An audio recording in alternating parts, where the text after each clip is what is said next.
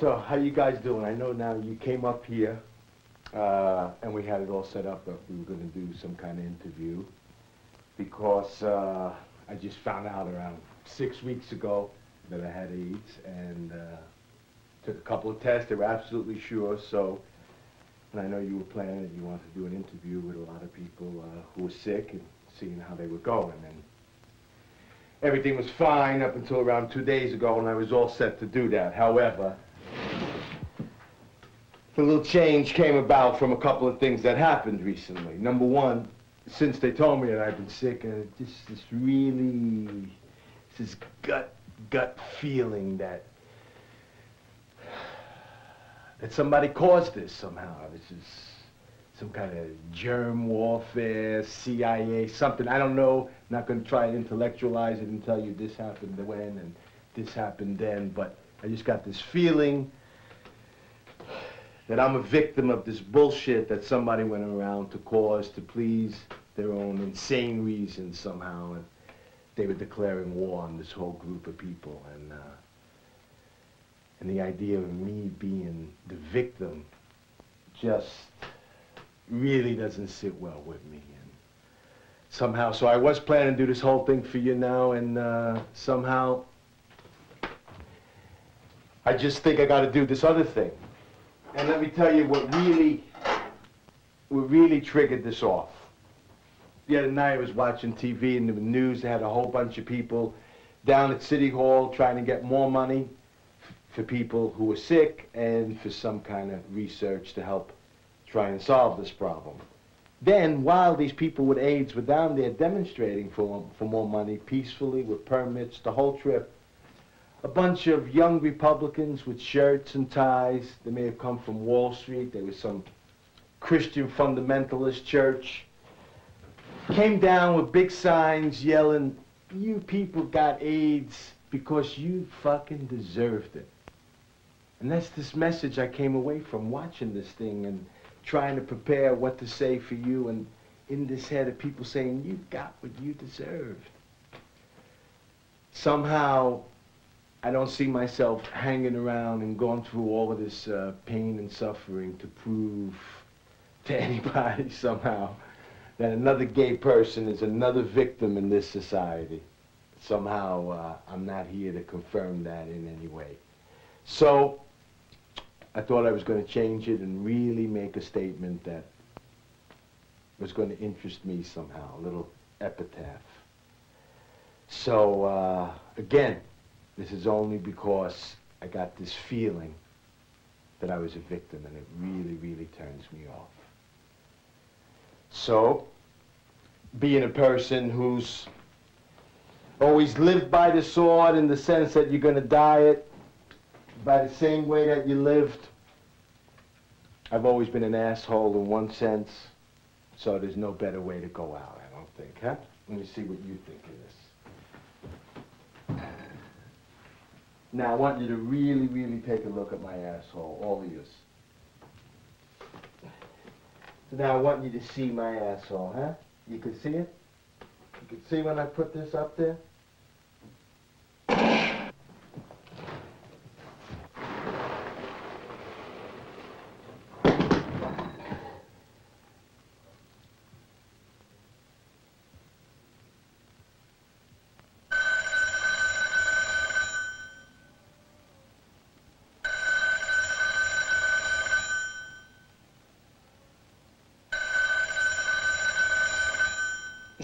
Last thing I got to say. For anybody who cares, my final words, yeah, the death of an asshole. By the asshole, right, me, the asshole, your collective tongue, your hungry tongue that groped around there, seeking with enthusiasm, with abhorrence, at the same time worshiping at the mirrored altar of the asshole. The dark hairs like glass tentacles reflecting back to you your own asshole, your own tongue, your own smell intoxicating you further into dropping even unknown barriers in that thrill of that time stop moment that exuberance, that genuine burst of lust. For who? For you. For yourself. You were looking for you, and I got in the way. You wanted to suck and fuck yourself, and I got in the way. All you could say, I wanted my own dick inside my own asshole, and you got in the way, and you did. Oh, yeah. The asshole as ritual object of worship. The asshole as the field of battle, as the killing ground, the cemetery. True descent into the netherworlds of the self to lower, lower, lower yourself down, to lick away at the darkness, to suck and fuck away all the evil, to penetrate the dark corridors of hell, to fuck your own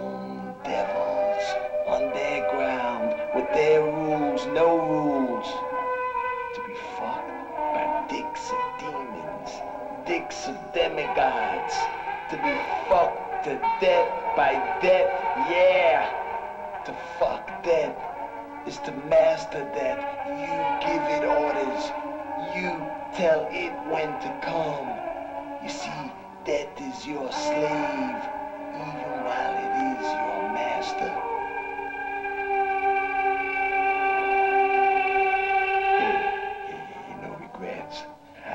Smile. Let's just say was interesting.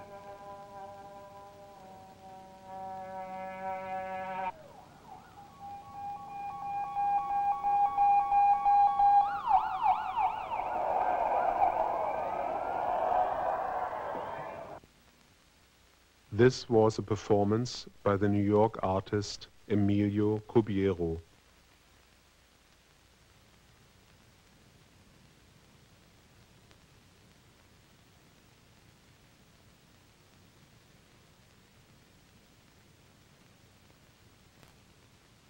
you know, I've always, I've always embraced something about anonymity. I mean, I've loved anonymity, and it's something that comes out of being homosexual, moving through a very aggressive and dangerous landscape, which is, you know, the city you're born into, the suburban area you're born into, where you have to carry the silence of what your sexual orientation is, what your leanings are, because there are people out there who will murder you.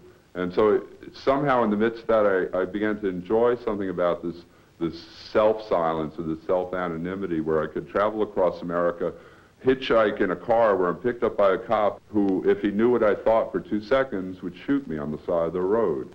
You know, I want to confront that, and I don't, you know, I don't want to be anonymous about this. People should witness things. They should, at, at the, at the very bottom level, be witnessed. This visual collage is part of a film by David Wojnarowicz, one of the most important artists with AIDS in New York. After having lived in the city streets from the age of 12, David became very famous in the East Village art scene in the 1980s. His paintings, films, objects, and writings often reflect his gay experience.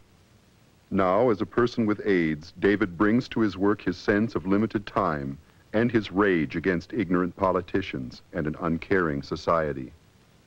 Uh, I remember being in the room when, uh, when he died. I was with uh, three other friends, and we were sitting around his bed, and uh, it was Ethel Eichelberger said, David, look at Peter. And I turned my head and looked at Peter, and um, he was completely still. And then there were these two very long, deep breaths that were very gentle, and he was gone.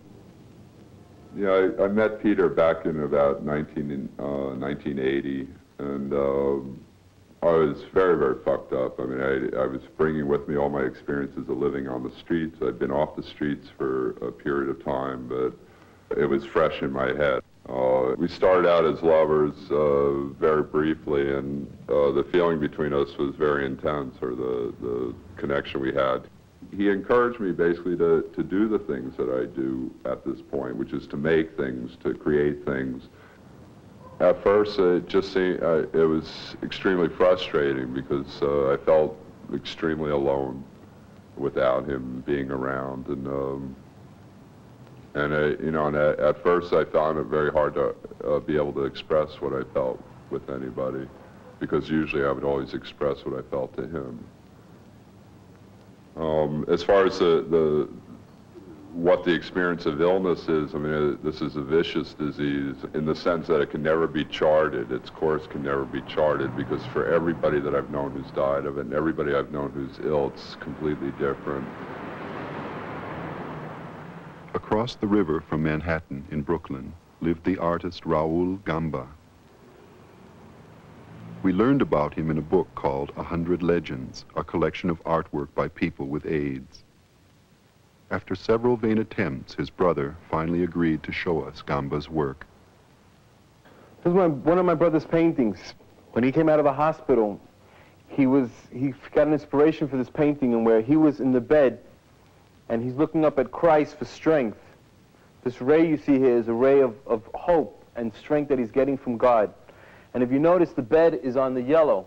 The yellow symbolizes life. But if you see, there's the, the, the darker colors symbolize the death. And he's very close to it. But, not, but right now, he's still holding on. And his heart, if you notice here, is like it's trying to burst out because of all, all the, the, the suffering and the emotion that he feels. And he's looking up to God for that strength. This is my brother. My dear brother. Sometimes I get angry, saying, why, why did this have to happen to him? But there's, there's, there, there's really no answers. These, these things don't have any, any answers.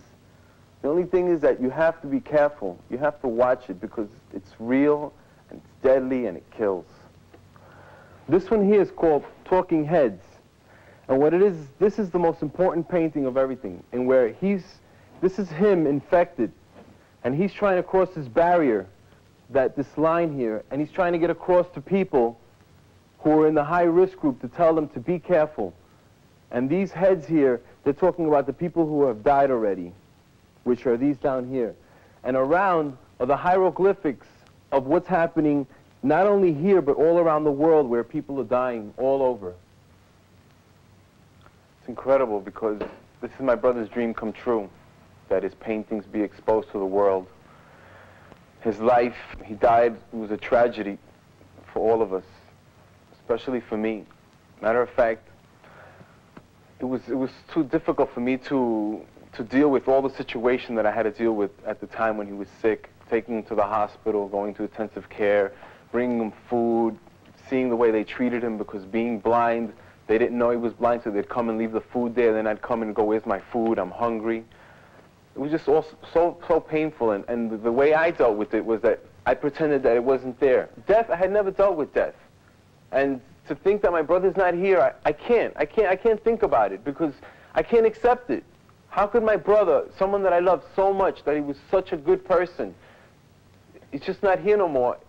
It's, it's totally, totally, totally, not only that, he was young. If he was an old person, I understand he lived his life and everything. But one good thing about it was that my brother did everything he wanted to do. He wanted to become a fashion designer. He did that. He wanted to have his own company. He did that. He wanted to be in all the newspapers, pu pu publicized in, in the best magazines. He did that. This was a very special painting in where my brother knows that he's sick and he has the only way he can turn to is back home. And what it is is like he's going back into his mother's womb, looking for support, for love, for strength, because there's no other alternative but to go back. Fortunately, my mother was there for him, but I know of many, many, many that the families completely neglect. This one here is called Lovers to the End. What it is, he told me about this, these two lovers that they knew they were sick and they, they committed suicide together.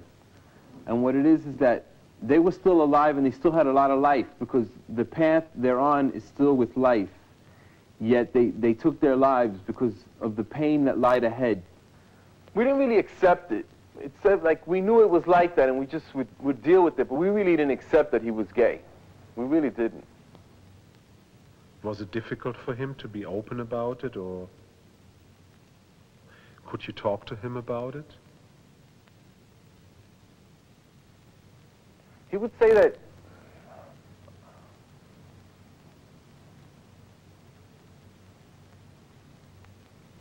he just says I would try to talk to him about it and find out why he felt that way or why he just he wouldn't he wouldn't know what to tell me. He would tell me these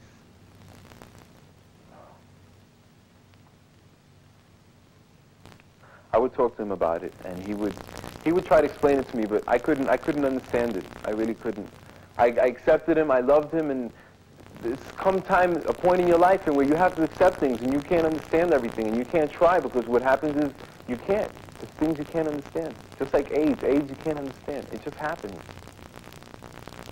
This guy I know was walking with a friend of his around West Street one time, and they'd gone into one of the bars and had a beer, and after they left, they were walking down the street when this car from Jersey cruised by. Kids come around all the time throwing bottles and screaming, queer, and then taking off. So this car cruised by him real slow, and some kid leans out the window saying, suck my dick. My friend flipped him the finger and said something, and all of a sudden the car slammed on the brakes, and five kids came piling out the doors and started kicking the shit out of my friend. For the next 10 minutes, about 100 guys came from out of the bars and from around the corner and surrounded these five kids, beating the shit out of my friend. His friend took off right away, and later my friend found out he just run home, didn't bother calling the cops or nothing. And all these guys crowding around, all these guys watching five guys beat up one guy, and none of them said or did a fucking thing. And my friend said the five kids stomped on his head and chest and broke a lot of his ribs and stomped on his legs. And at one point he got up, one point he got up and tried to break through the crowd to get away, but the kids grabbed him by the hair and pulled him back in. And he said it got to the point where he could hardly feel them hitting him. They were jumping up and down on his head and arms and legs. And finally he said he remembers jumping up, plowing through the crowd and running and running, and his face was just a puddle of blood. And the kids chased after him, but he ran faster and faster and through the streets and out of the neighborhood. And he kept running until he collapsed somewhere on some side street. And later, he woke up in a hospital, found out he'd been unconscious for about six days and the doctors told him that he was found by a bunch of cops unconscious on West Street, surrounded by a bunch of guys who didn't do nothing. And apparently he had hallucinated the whole thing of getting up and running away. And he had never gotten up. He'd never gotten up, and the kids from Jersey got away before the cops got there.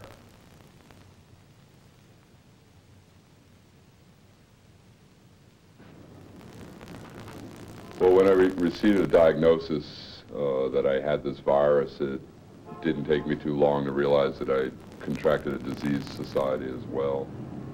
But I think what I really fear about death is the silencing of my voice and the inability of my body to move. And uh, that's the worst of it. And I don't believe in an afterlife or any other after stage of, of the body in terms of death. I feel that you just a friend of mine once said pretty clearly that, uh, you know, when you die, you become fly food, and somehow that's comforting. There's, there's a thing of, of being public with uh, this virus, of having this virus, and saying to people openly that I have this virus, I mean, early on, as soon as I had this diagnosis and I started talking about it, I get from one of the dealers that I was dealing with in my paintings, oh, maybe it's not a good idea that you tell people you have this virus because then they, they're going to think you're not going to be around long enough to have a career and therefore they won't buy your paintings. And it was like, you know, my answer to that was, well, they could also look at it that, I, you know, maybe I'll be dead in a very short time and if they want something of mine, they better buy it now because, um, you know, there's a possibility I'm not going to be around long. So I feel this incredible pressure to leave something of myself behind. Peter, I, I want to talk to you about your art. Your drawings, your paintings, your book. Um, my art has always been an integrated part to my life too. Now I have difficulties to do it because it's uh, difficult to work um, under such condition with my eyes and my tiredness, you know. When I sit up for a long time, I, I get very tired.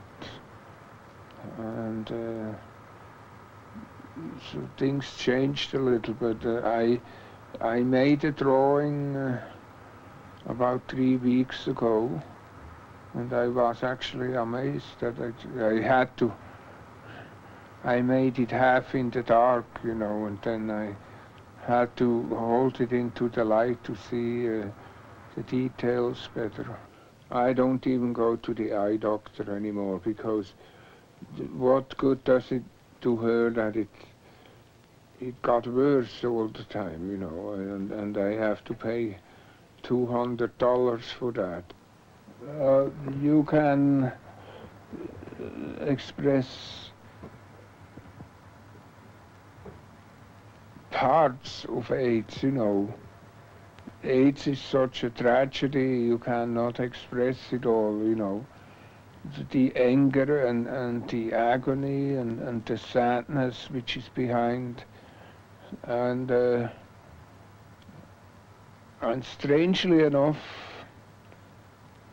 I choose not to express these parts of it. I looked at the drawings the other day and and they're uh, very sad angels I painted, or kind of young messengers who had, you know, who had a heaviness to them. I used them to think of them as healing tools to work things out, you know. And uh, it worked, I think, to a certain degree, you know. And he, being healed does not always mean being physically healed, it, it means being uh, spiritually healed, mentally healed, you know, like uh, that you have peace. Uh, I think I, I, could die any minute and I, I'm not afraid of it, you know. I'm not afraid of figure fire and hell and all that, that is myths, you know. We create that in ourselves.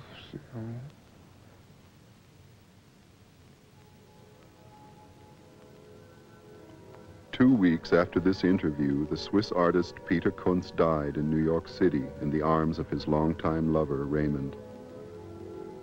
He lived long enough to see his last book of drawings published. Peter was a good friend, and his death was a shock for all of us who worked on this film. Death and dying followed us throughout the work of shooting, as did efforts of survivors to keep the memories of loved ones alive. Here in Philadelphia, we filmed one segment of the Names Project, which is a giant quilt made up of hundreds of pieces, each representing a person dead of AIDS.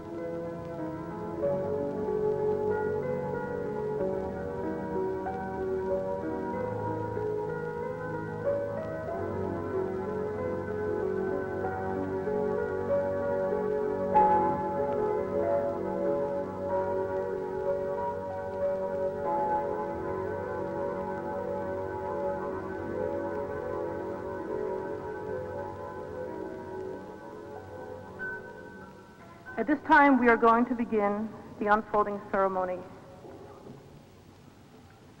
John C. Seiler. Ron. Liberace. Dale Kramer. Hal Merritt. Rock Hudson. Philip Dimitri Gallus and my dear friend, Neil Spann. I mean, this is about um, a thousand names here in Philadelphia, and, and when I saw it in Washington, it was about 8,000, and supposedly now it's up to 12,000 and growing, you know. Um, I think just overwhelmed with the fact that each one of these represents kind of the size of a person. You know, it's three feet by six feet. It's it's about the size of a person with a name, personal artifacts, um, something about the person on it. And when you see so many of them, you just you just overwhelmed with with the devastation of the disease. One of the men, uh, his family really never even wanted to acknowledge that he had AIDS. I mean, they just, uh, I guess they had a sense of shame about the disease, and uh, they didn't, it was very hard for them to admit it. And so I just felt that uh, somebody ought to come here on his behalf. It's real tough, real scared. What, what personally brought you here? Me. How so? How so? I've been positive for three years. I work very closely with this um, organization. And so it's a mixture of emotions for you? Yeah. Fear, and I've lost a lot of friends. Many. Many friends whose names are here? Uh, yeah, four of them right over there. I'm not real good at this. Thanks a lot. You know, one of the things that I thought, if if I die of AIDS, I don't I don't want a fucking memorial. I mean, you know, I love the idea of the memorial. I love the idea that people pass information about somebody who's no longer existing to one another or to strangers so that they have some idea of the gesture of this person when they were alive.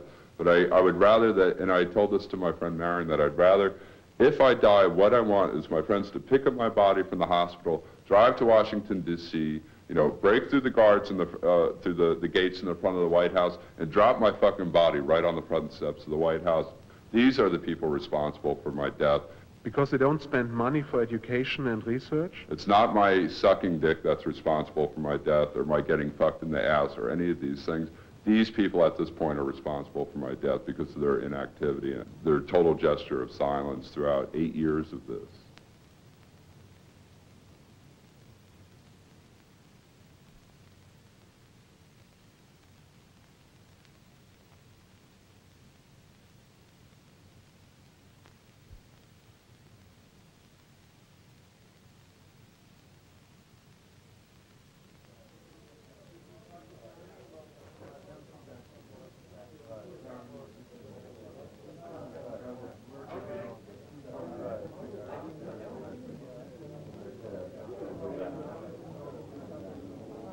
This is a gallery exhibition of works by Don Moffett, who belongs to an artists collective called Gran Fury. Using commercial advertising techniques with easily understood graphics and visuals, Gran Fury hopes to educate the public against homophobia and the lack of government funding for AIDS.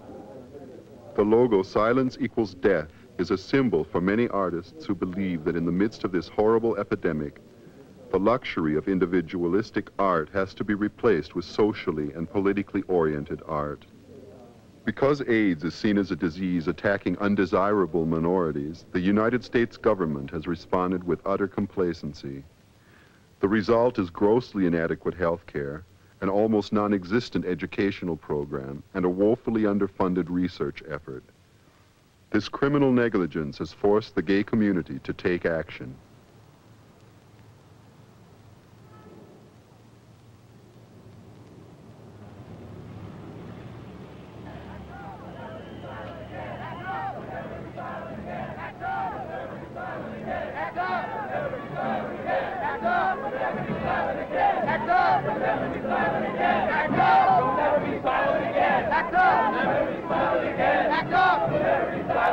again. Act up. We'll never be silent again. Act up. We'll never be silent again. Act up. We'll never be silent again. Act up. We'll never be silent again. Act up. We'll never be silent again. Act up. We'll never be silent again. Act up. We'll never be silent again.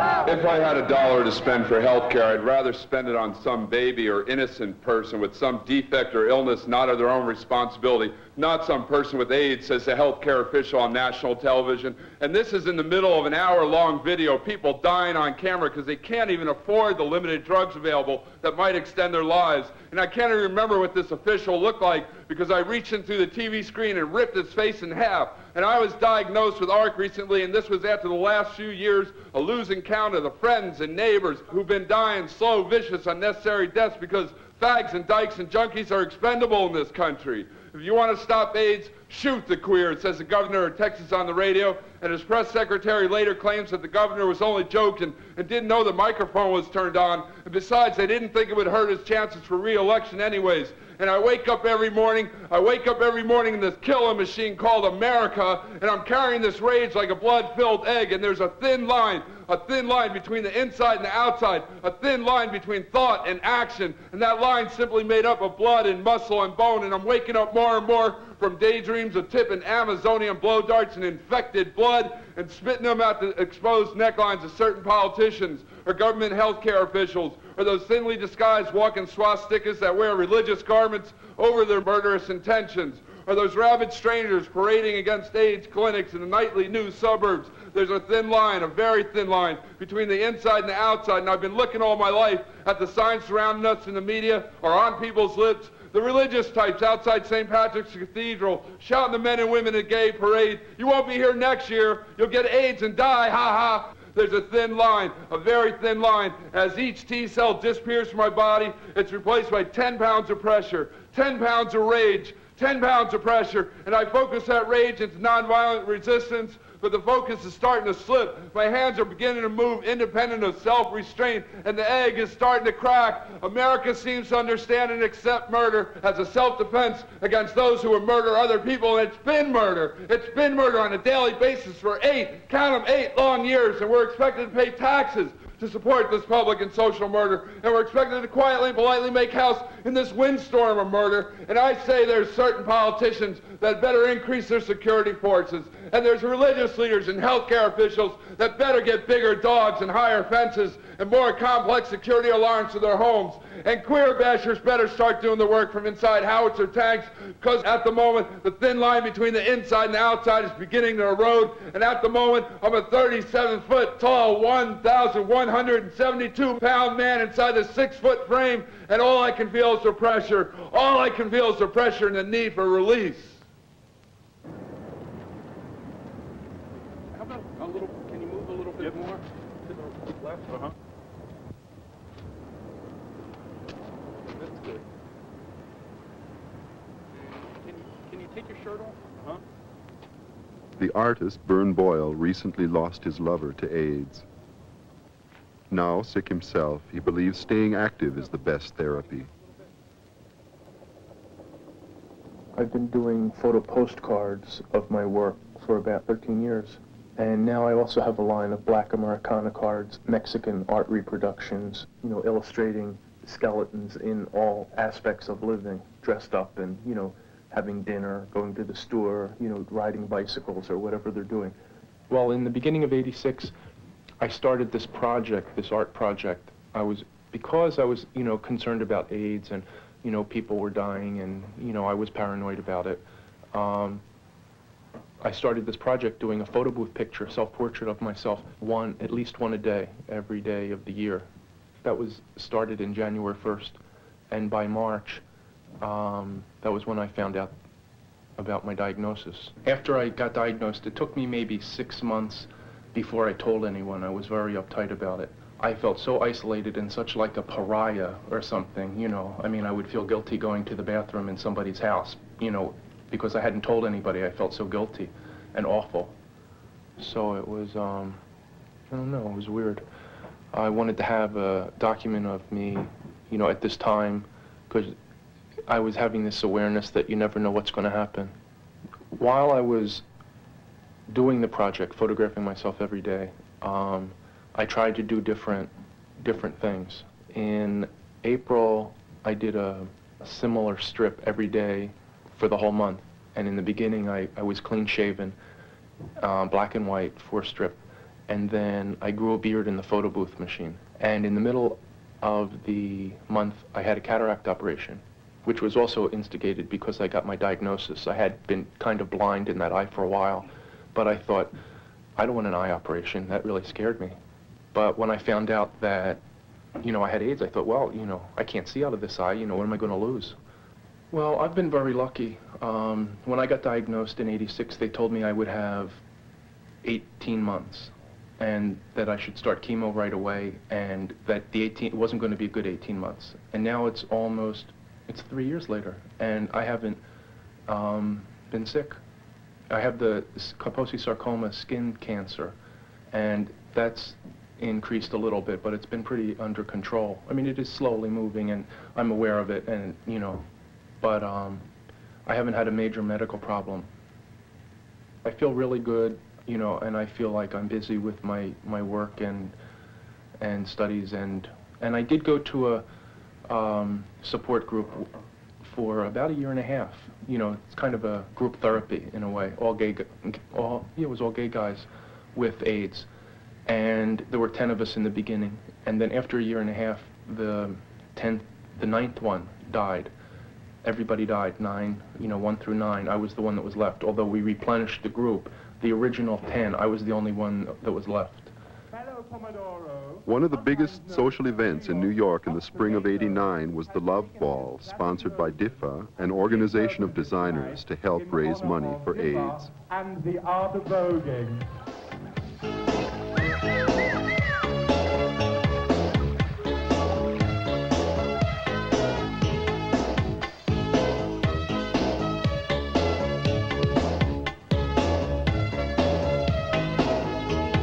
Elizabeth Taylor was in the forefront of celebrities who devoted time and energy to raising millions of dollars of private money for AIDS causes.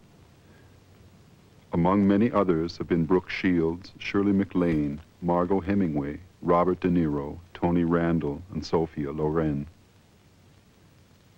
A Night at the Circus was one of the earliest successful benefits in February 1983 at Madison Square Garden.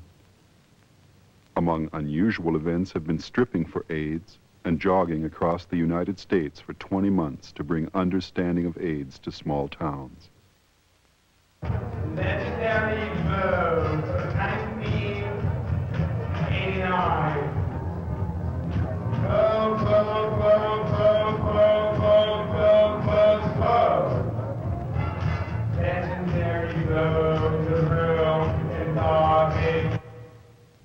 Alan Buxbaum, a leader in high-tech architecture, died at the University Hospital in Manhattan of AIDS.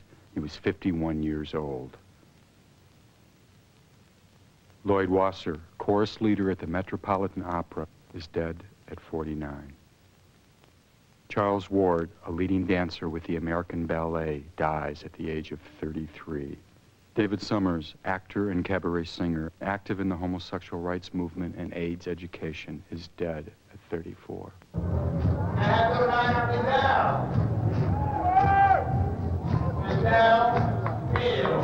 Legendary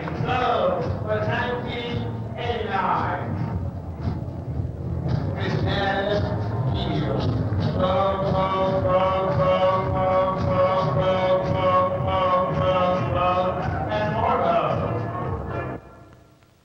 Art director, art critic, painter, makeup artist, fashion executive.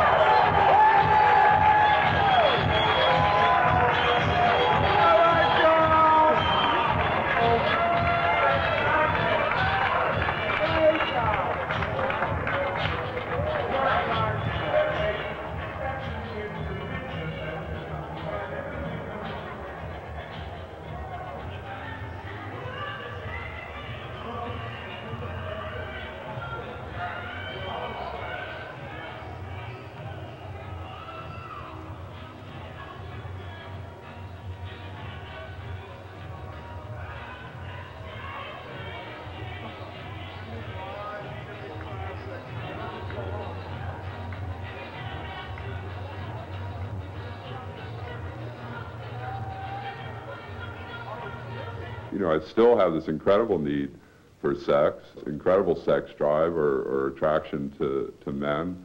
And I find that, you know, now it's what I'm being pressured to do is the thing of being honest about carrying this virus and not doing something that endangers the, the other person. But at the same time, it cuts right through the whole structure of what sex has always been to me, which is fairly anonymous, without biography, uh, something passionate, something where you receive language through gestures, of hands on your body, or you know, tongue, you know, the tongue against your body, or licking somebody's arms or, you know, whatever. And now it's like suddenly you have to give a medical breakdown of where your body is and then say, oh, can we go fuck, you know, which is almost an impossibility. I mean, because most homosexuals that I know that, uh, that are actively engaged in sex who don't know anything about whether they carry this virus or not don't want to know.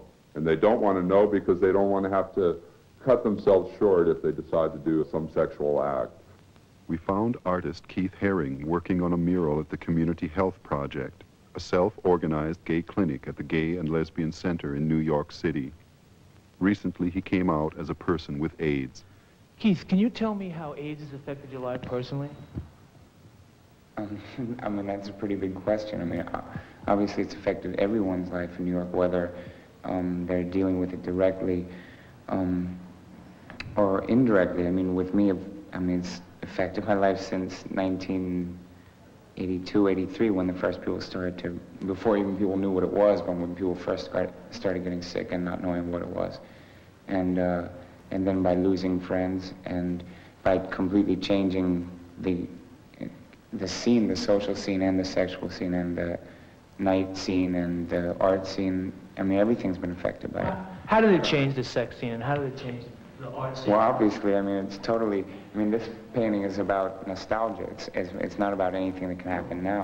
When I got to New York, it was 1978, and it was the height of the baths and subway bathrooms and things like that, which now is totally impossible because safe sex is a necessity. And, uh, and I think everyone pretty, everyone that I knew were changed, changed their sexual habits immediately as soon as they found out um, the risks that were involved in, in what was happening.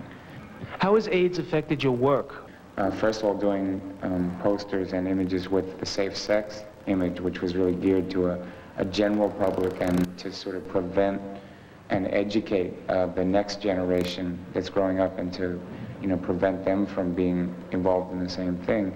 Um, and then on a more um, political level, doing things like the ACT UP poster, which was more directly um, involved with AIDS activism and, and trying to sort of cut through a lot of the bullshit surrounding the whole, the whole thing. Safe sex is the intelligent response to, to deal with the situation. I, I don't think it's realistic to tell people not to have sex because it's not going to happen. And people aren't going to stop having sex, and especially uh, younger people that are having sex for the first time in their life, um, I don't think they should be scared out of having a choice of what kind of sex they want to have. You know, they're still in the experimental stage. And so safe sex, I think, is a better alternative and a more realistic alternative than to tell people to abstain from having sex.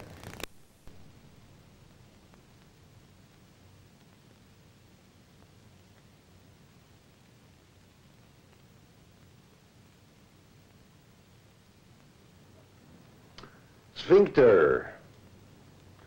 I hope my good old asshole holds out. 60 years, it's been mostly okay, though in Bolivia a fissure operation survived the Altiplano hospital.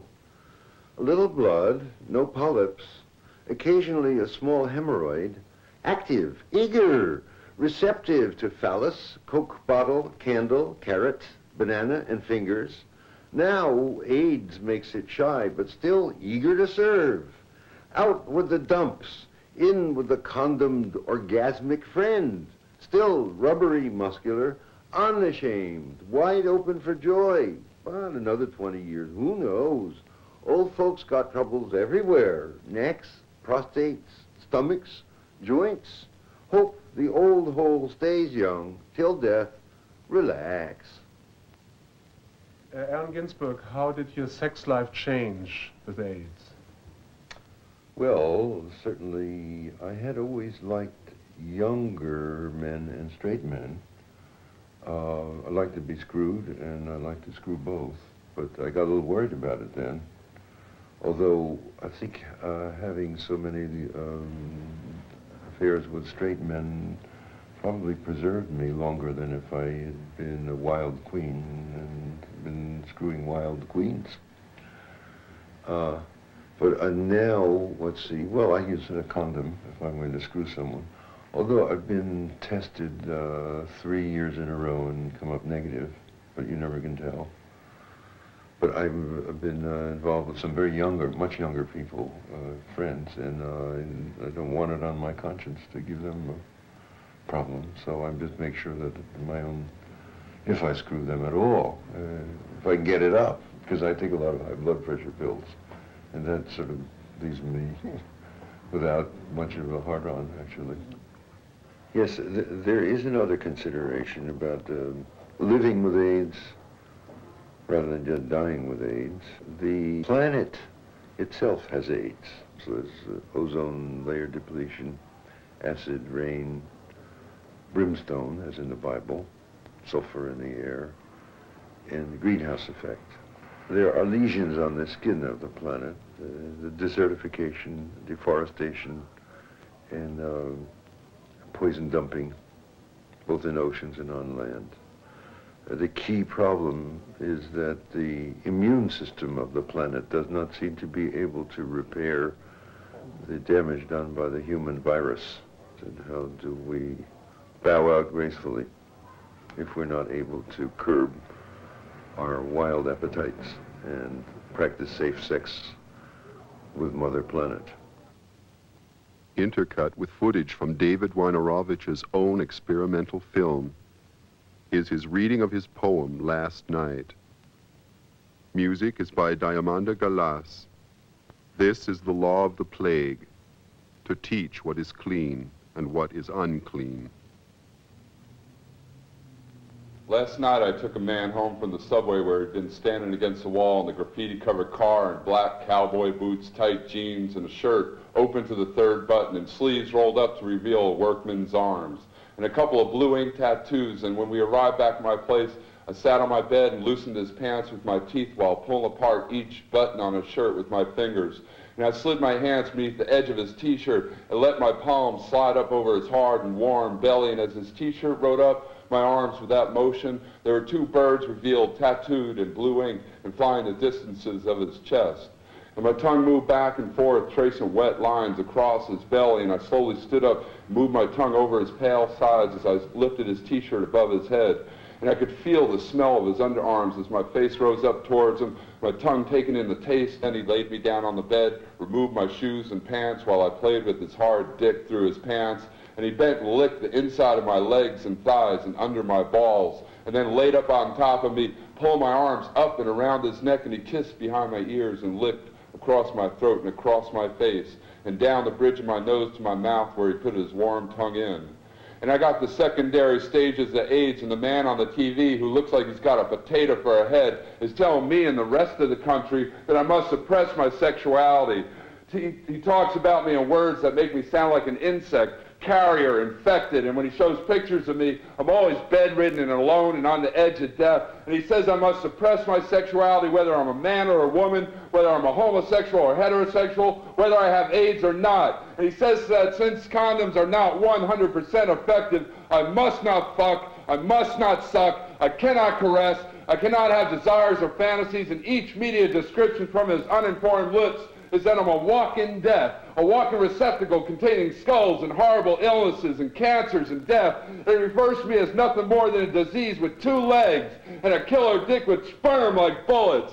And he tells you that I'm on a mission of destruction. I'm on a mission of destruction because I insist on being regarded as a human being that has a need to explore sexuality. And he tells you that I'm, I have a secret mission to infect the entire world. You know, if I'm acting like a hysterical accident victim, that's important to me. That I act like a hysterical accident victim. That's important to me emotionally. It's it's something that I that it can use as a vehicle to move to something else.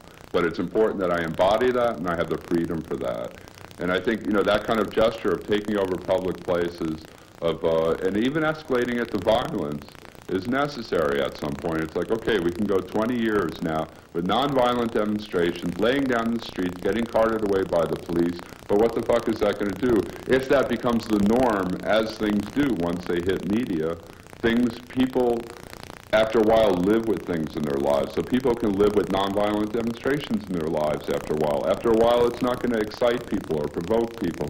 Or incite people to do something to, to create change. So what's the next step? The man on the TV is also the man in the newspapers. He's got a replaceable head. One day he could be a man, another day he could be a woman. He could have the face of a politician, or the face of a doctor, or the face of a research scientist, or the face of a healthcare professional, or the face of a priest with a, with a swastika tattooed on his heart. And each and every one of these faces say they are concerned for you because of my existence. And it's fucking ironic when he takes on the face of a family man who wants to protect his children because I am his child and I got AIDS. And I don't think having AIDS is something heavy. It's the use of AIDS as a weapon to enforce a conservative agenda. That's what's heavy. I mean, I sit in front of the TV, and whenever I see Cardinal O'Connor or the mayor or Stephen Josephs, I mean, I have an imaginary gun in my head, and I shoot them dead. It's like if I could have Amazonian blow darts tipped in poison, I'll spit it in their necks. It's like I want these people to confront this disease the way I'm confronting this disease,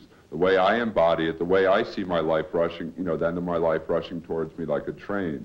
And these people don't. The closer I get to my death, the closer I come to uh, various illnesses, and and the the the less and less that I can move Uh, the more and more I feel uh, feelings of extreme violence, whether it's taking a gun and shooting some of these people, whether it's going up to this fucking church on Fifth Avenue and shutting it down with a bunch of people, whether it's explosives wrapped around my waist so I can shut that church down. Homosexuals or intravenous drug users are expendable in this society, and AIDS is treated the same fucking way that homosexuals and drug users are. And that's why there's been this legal and social murder on a daily basis for eight long years. And in the face of this, in the face this, I'll continue to explore my body and the bodies of other men and find the possibilities of pleasure and connection. And this will be done with responsibility and need. And this will be done with deeper understanding of touch and fantasy and areas of pleasure I've still to reach. And I will not be silent about this. And I'll not crawl into a immediate grave and die quietly. It's like people treat this asshole cardinal uh, you know, it, it's like these, these sacred boundaries of this building. It's a building made of stone. It's a man made of flesh and bone and blood and tissue. And they act as if, because there's this abstract idea of what religion is, of what God is, that this man is untouchable, and he's not. And this church can be shut down the same way he shuts down abortion clinics, the same way he prevents people getting information or making personal decisions about the, their life, he can be shut down.